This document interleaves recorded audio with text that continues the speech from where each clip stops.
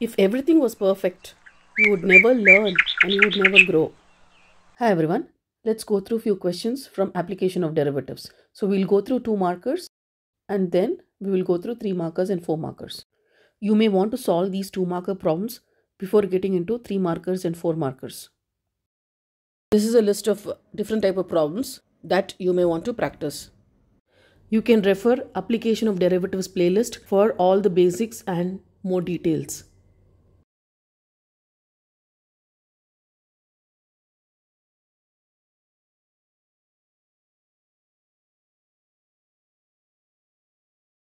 Let's look at uh, each of the questions here. If the cost function of the firm is given by, this is the cost function, find the average cost and marginal cost. Now, we'll have to remember the formulas here for sure, right? Without formulas, we'll not be able to solve uh, these uh, problems.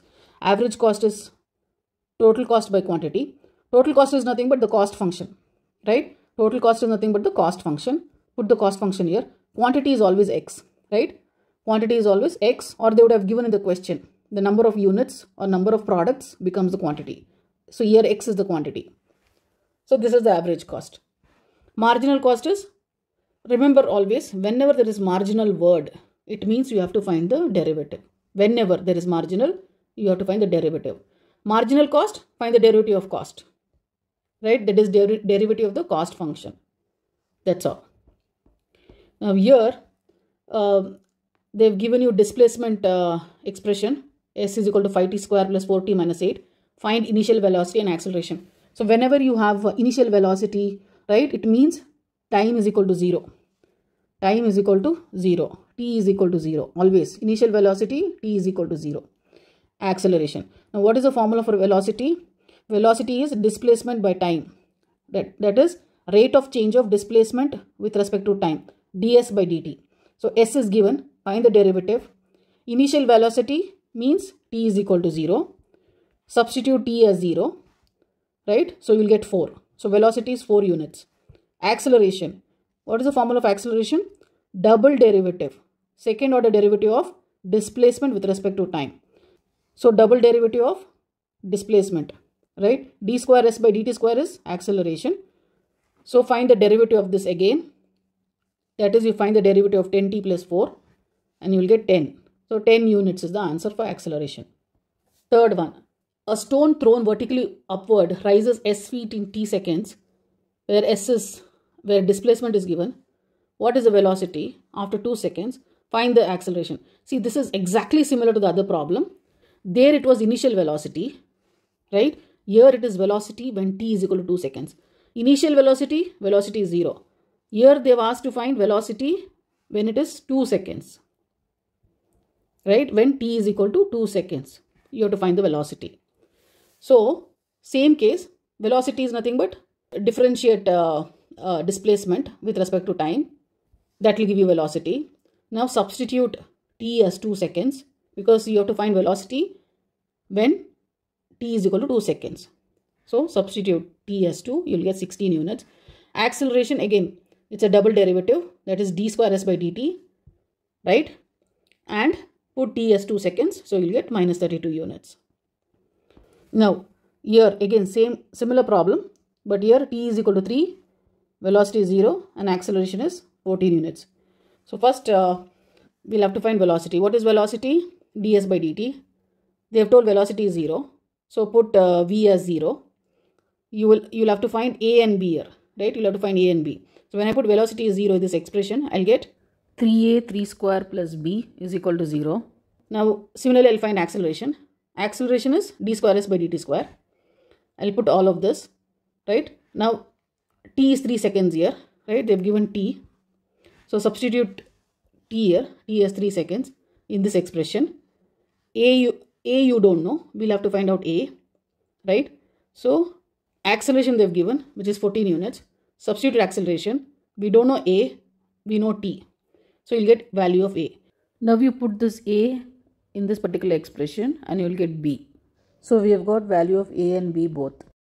Here, if the total cost of production is given by this particular cost function, find average cost and marginal cost. Simple. Average cost is total cost by quantity. Cost function is given. This itself is a total cost. Substitute that. Quantity is always x. This is average cost. Now you have to find the average cost when output is 10 units. What is output? Output is x. Quantity. Output. All these mean the same. Output quantity x. All this means the same.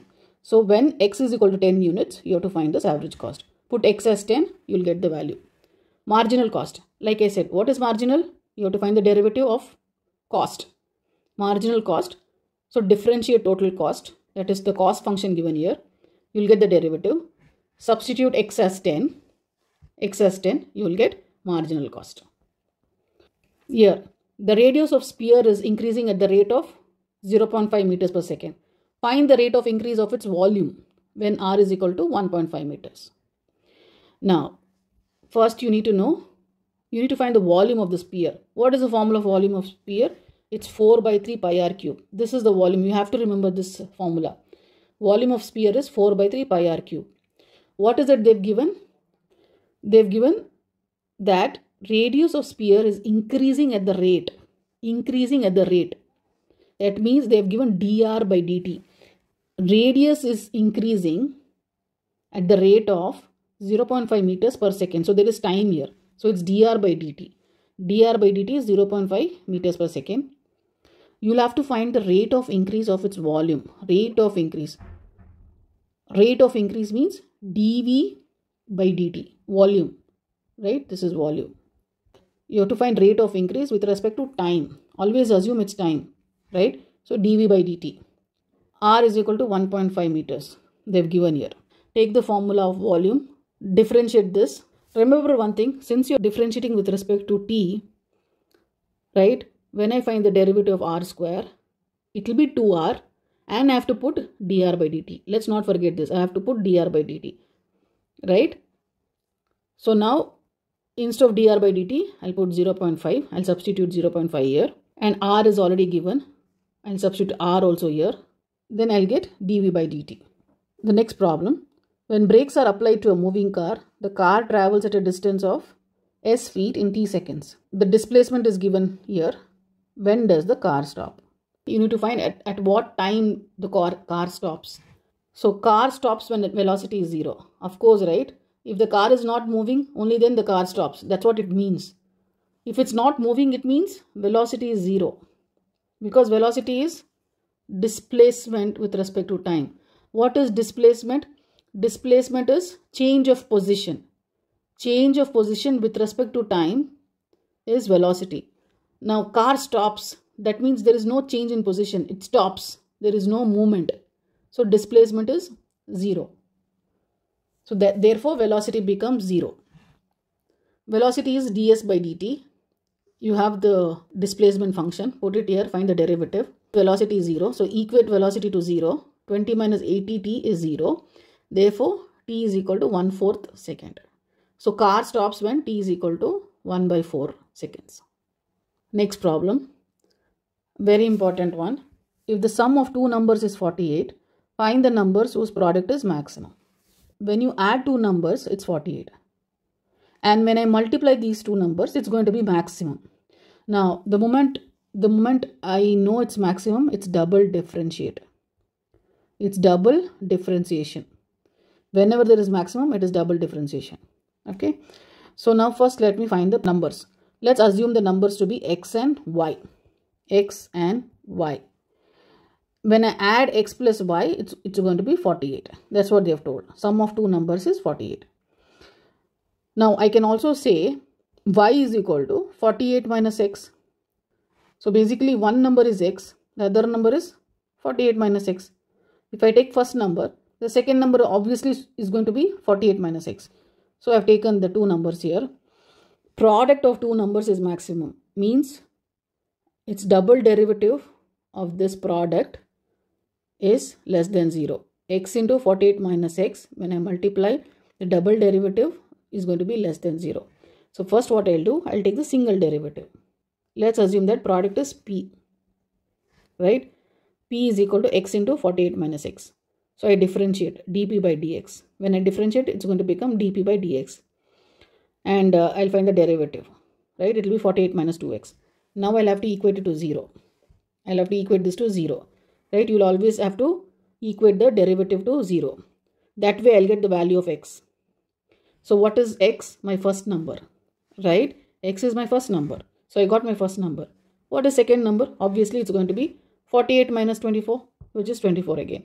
So the two numbers are 24 and 24. Now I have to verify that the product is maximum. We'll have to put this step, right? How do I verify if the product is maximum? I'll have to find the double derivative and see if it is less than 0. So I found the single derivative here. Now I'll find d square p by dx square. I'll find double derivative. What is der double derivative of this? It's minus 2. Right? So minus 2 is less than 0. It's negative. Therefore, we say product is maximum. Yet another problem. The radius of a circular plate is increasing at the rate of 2 by 3 pi centimeter per second. Remember per second. That means it is with respect to time. That means it's with respect to time.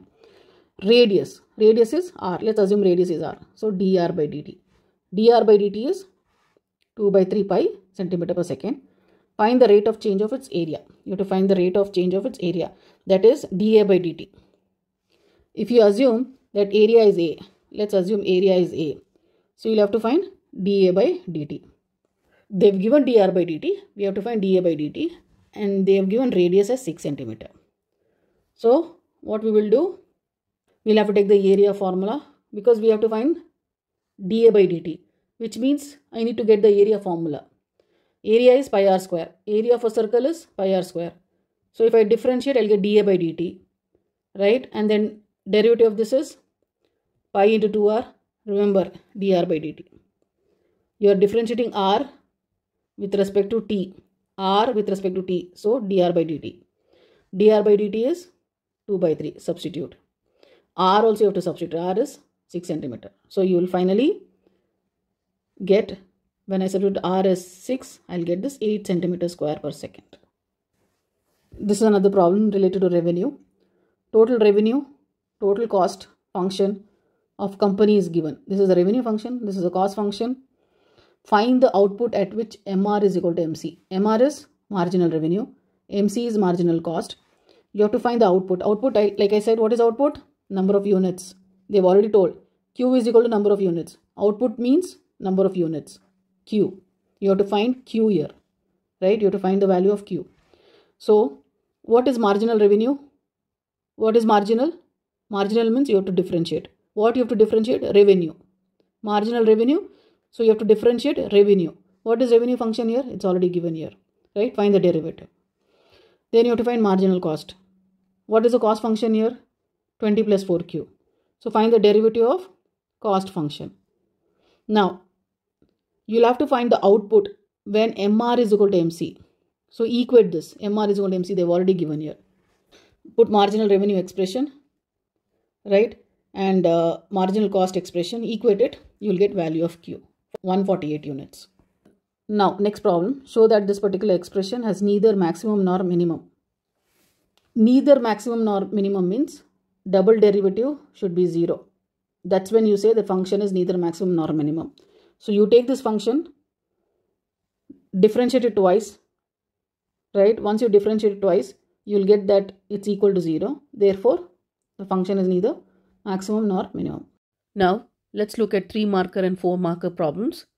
You will see a overlap between 3 marker and 4 markers. It is important to solve 2 marker problems so that 3 marker and 4 marker becomes easier. These are the list of questions here from application of derivatives.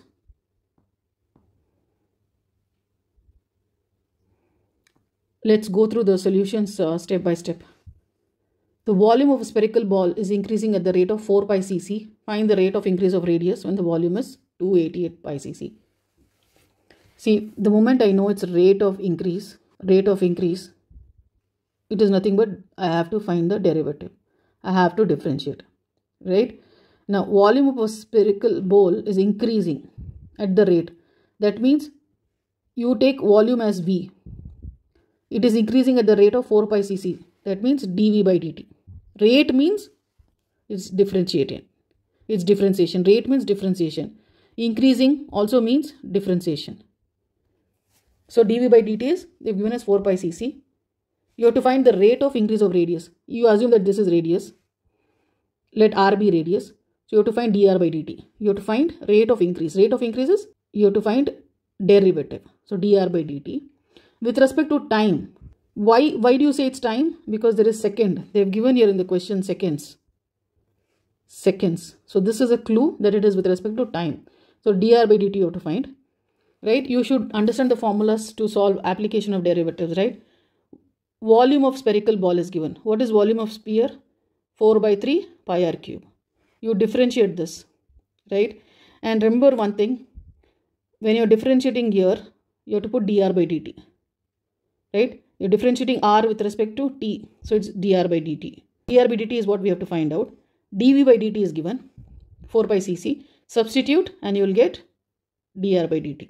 Simple problem, right? You will get dr by dt, which is 1 by r square. Now, I don't know what r is, right? So, one more thing given in the question, volume is given. Volume is given, 288 pi. So, what I will do, I'll substitute 288 pi here in the volume. So, if I substitute this in the volume, I'll get R. I can get R from this, like this. I'll substitute volume and I'll get R. So, R is 6 centimeter. Now, what I'll do, I'll take 6 and substitute here. I'll get dr by dt. That is what I need to find out. It is radius per second. You have to put radius. You have to put centimeter cc per second. Right? It, it's given in cc. So, unit is cc per second because it's with respect to time. So, it is second. Second one is also similar. Right? Edge of a cube is given. Rate means it's differentiation. So, you assume that edge of cube is x so differentiation would be dx by dt with respect to time because minute is given here, right? So 6 centimeter. dx by dt is 6 centimeter per minute. How fast is the volume? How fast? That means time. Volume, we'll consider volume as V. Surface area, A. You have to find how fast volume and surface area is increasing when the edge is 10 centimeter. Edge. Edge is x, right? So x should be 10 centimeter when x is equal to 10 centimeter, you have to find dv by dt. You have to find dv by dt and dA by dt. Why? Because they're asking you to find out the volume and surface area at what rate this volume and surface area is increasing. So you have to find dv by dt and dA by dt. So you need to know the formula of the cube. What is volume of cube? It's x cube. Right? So you differentiate. Find the derivative of x cube which is 3x square and don't forget to put dx by dt you are differentiating x with respect to t. So dx by dt. dx by dt is given as given as 6 here. So substitute. I substitute 6 here. x is 10 centimeter. They have given edge is 10 centimeter. Substitute x here. You will get dv by dt. Similarly, what is dA by dt? Area of cube is 6x square. Formula. Differentiate. You are differentiating x with respect to t. So dx by dt.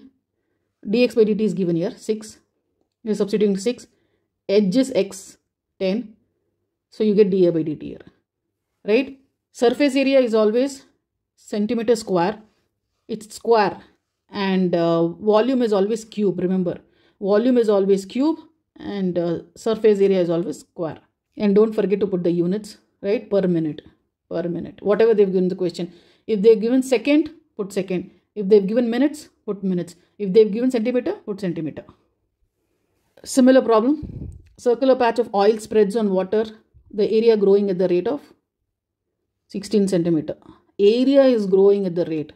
That means you consider area as A. So dA by dt is this much. How fast are radius? That means dr by dt. Assume r is radius. Circumference dc. Assume circumference is c. dc by dt. You have to find this. They've given diameter is 12 centimeter. If diameter is 12 centimeter, what is radius? Radius is half of it, right? Radius is half of diameter. That is half of 12, which is 6 centimeter. What is area of circle formula? Pi r square, right? Now, you find the derivative, right? Uh, we don't know what is dr by dt, but we'll have to find this out. Radius we know, half of diameter, 6 centimeter. So put 6 centimeter. dA by dt is given 16. So you'll find dr by dt, right? Next, you have to find circumference, that is dc by dt. Formula for circumference is 2 pi r. So 2 pi, you differentiate, you'll get dr by dt. You found dr by dt here. Substitute, you'll get circumference.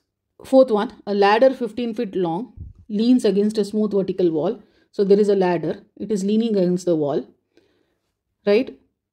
And it is 15 feet in length. If the top slides downwards, that means the ladder is slowly coming down.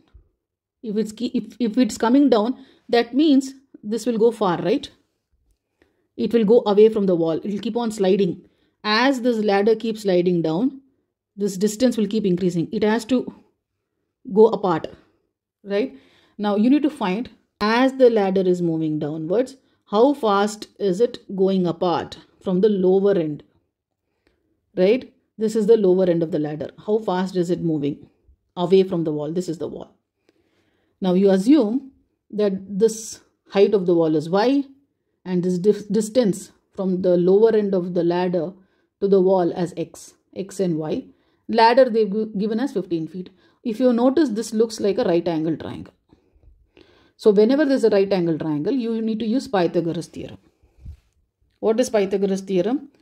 hypotenuse square is equal to adjacent side square plus opposite square right that is you take both the sides square of this side square of this side is equal to hypotenuse square this is this is how it is ac square is equal to ab square plus bc square ac square is equal to ab square plus bc square now we assumed uh, ab square as y and bc square is x but they have told you have to find when the lower end is 12 feet away from the wall. Lower end of the ladder is 12 feet away from the wall.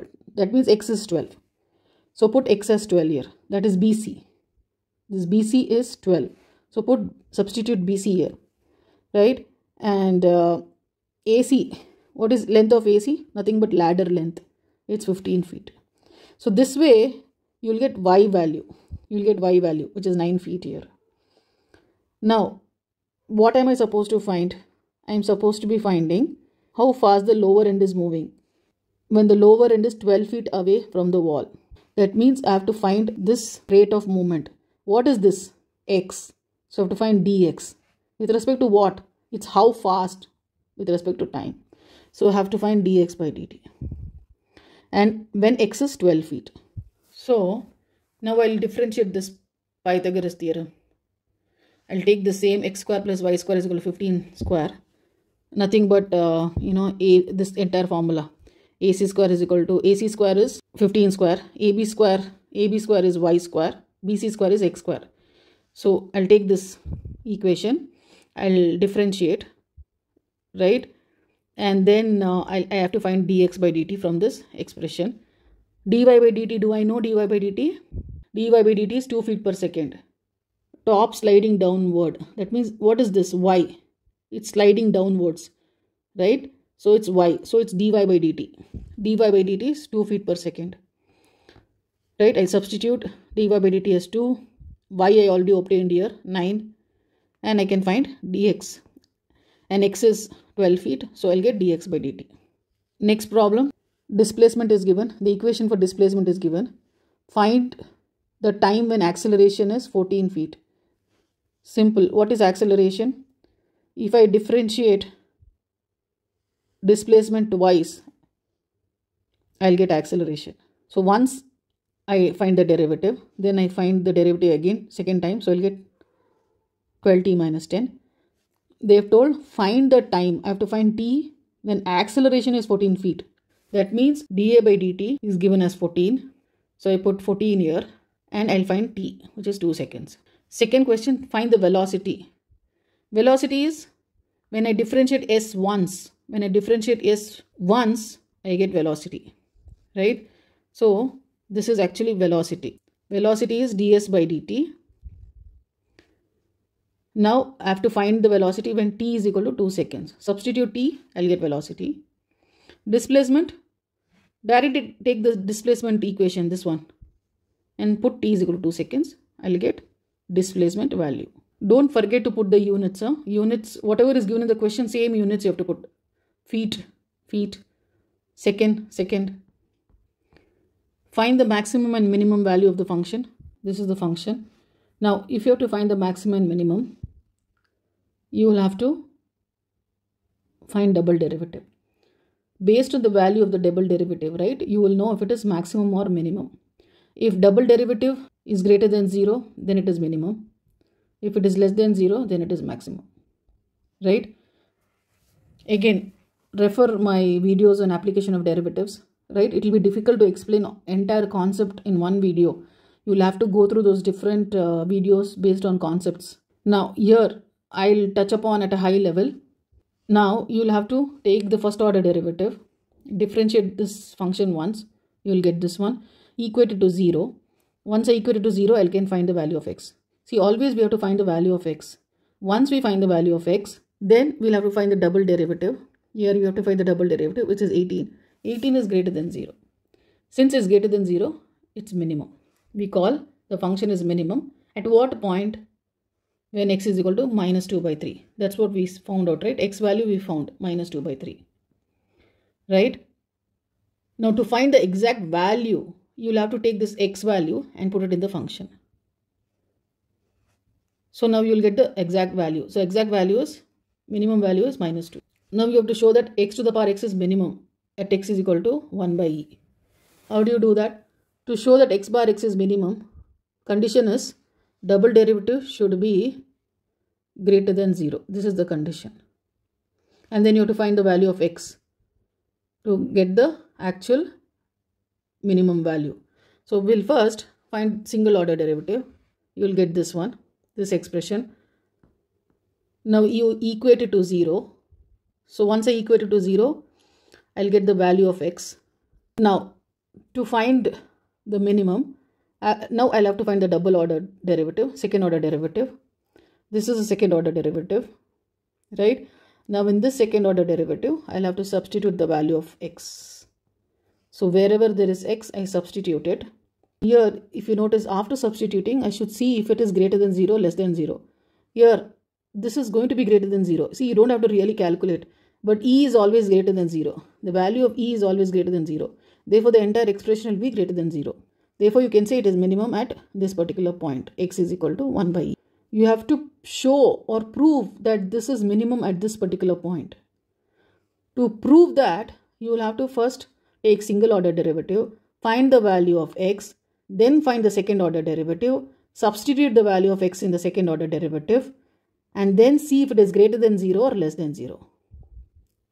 There are detailed steps given in the playlist. You can refer that for solving such kind of problems. Next one, find the maximum and minimum value of this particular expression. Same step, first find the single order derivative, equate it to 0, get the value of x, right? Now take this value of x. Now you find the double order derivative, second order derivative, take this value of x, substitute, see if it's less than 0 or greater than 0. Here it is less than 0, that means it's maximum. Now you need to find the value. So again, put this x is equal to 1 in the original function. When you put this value of x in original function, you'll get the maximum value. So you got two x values here. x is equal to 1, x is equal to 5. So you have to substitute x is equal to 1 and see if it is greater than or less than 0. Then take the next value of x. Again check if it is greater than 0 or less than 0. Here it is greater than 0. So function is minimum. To get the minimum value, take this x is equal to 5 and put it in the original function. You will get the minimum value. Next problem is to find the uh, output at which MR is equal to MC. This is, you know, cost and revenue based uh, problems. I think this is the simplest of all in the entire uh, application of derivatives, right? This is simplest. Try to, um, you know, focus on these problems. This is relatively simple. So total revenue function is given, cost function is given. Find the output. So MR is equal to MC. What is MR? Marginal revenue. Marginal revenue means you have to differentiate revenue Marginal cost means differentiate cost, differentiate that. You need to find the output when MR is equal to MC, equate. You have got MR here, you have MC here, equate, you'll get value of X. So X is 45. This is the output. Output is 45. Output means it's the number of units. Number of units. Here we saw the question as find the output at which MR is equal to MC. Instead, we could also have a question as find the equilibrium output it means the same. Equilibrium output is when MR is equal to MC. The next problem. Again, cost function is given. You have to find the number of articles. Q is number of articles. Q given here is number of articles. You have to find the number of articles produced at minimum cost and you have to find the minimum cost. So, minimum cost means what? You have to differentiate cost. So, you'll get this expression. Now, you equate this expression to 0. When you equate, you'll get value of Q. You'll get value of Q. Once I get the value of Q, you have to check if it is minimum or not, right? That means you have to double differentiate. Now you double differentiate, right? You'll get this. Now you put the value of Q in this particular expression. So you're getting, you'll check if it is positive or negative. It is positive here. Since it is positive, it means it's minimum, right? Remember the condition, double derivative is greater than 0. That means it is minimum. So minimum cost. Now how do I find the actual cost? Whatever value of q you obtained, put it in the original function. Original function. Remember, not in the derivative in the original function. This is the original function, right? In this function, you put the value of q. And you'll get the minimum cost, rupees. Rupees 41. Last problem. Divide the number. I think even in the two marker uh, uh, video this was discussed, right? Divide the number 40 into two parts such that the product is maximum. Again, this is the simplest in application of derivatives. Focus on this problem also. Relatively, this and the earlier problems are simple. Let the two parts be x and y. So when you add, the total is 40 and the product is maximum. That means when I multiply x and y, x into y is maximum. Let's assume that p is equal to, product is equal to x into y and it is maximum. Maximum means what? When double derivative is less than 0. This is the condition. So once you solve the problem, ensure that you verify that it is maximum. Now first we'll find the single order derivative. We'll, we'll uh, you know differentiate this. What you have to do is first substitute y. Substitute y. What is y? 40 minus x right? y is 40 minus x. So in this product substitute instead of y i put 40 minus x. So it will be 40 i'll multiply this so i'll get 40x minus x square. Now i'll differentiate this right? Now i equate it to 0 this is a standard step. Once i find the derivative equate it to 0 the reason you equate it to 0 is to get the value of x once I get the value of x, I will get, this is, x is the first number. I will get the value of second number, right? So it will be 40 minus x. First number is 20. Obviously, second number is 20. So two numbers are 20 and 20. Now I have to verify the product is maximum. So I'll take the double derivative of this p. Double derivative will be minus 2. It's less than 0. Negative means product is maximum. So it's proven that the product is maximum. Now let's look at this particular problem. A square plate is expanding uniformly the side is increasing at the rate of 5 cm per second. What is the rate at which the area is increasing when the side is 20 cm long? Let's see what is given in the question. The side is increasing at the rate of 5 cm per second. So let's assume that side as A, right? Small a. Side is increasing at the rate. Side is increasing, which means dA by dt is 5 centimeter per second. What is the rate at which area is increasing? So we'll have to find rate of increase of area. So let's assume, so let's assume area as capital A, right? And we have to find rate at which area is increasing. That is, we have to find dA by dt. We have to find dA by dt, right? Now, what is the area of square? It's a square plate. So what is the area of square? It is nothing but, area is nothing but side square, right? Side into side is area of square. We have assumed the side to be A. So it's going to be A square. We have to find dA by dt, right? So what is dA by dt? We'll have to take the area formula. Area is equal to A square, right? And if you have to find dA by dt, you have to differentiate this, right? You have to differentiate this with respect to time dt because time is given in the question per second, per second. So if you differentiate a square, it's going to be 2a and then you have to put dA by dt because you're differentiating side that is a with respect to time. Right? So, dA by dt. dA by dt is given as 5 centimeter per second. So, we substitute that. So, we get 10a. And we have to find the rate of increase of area when the side is 20 centimeter long. That is, when side is 20 centimeter, which is nothing but a. So instead of A, you substitute 20, you will get 200 centimeter square per second. Since this is area, the units is going to be square. square per second. With this, we've come to the end of this particular video. If you have liked this video, do press a like and share it. Thank you.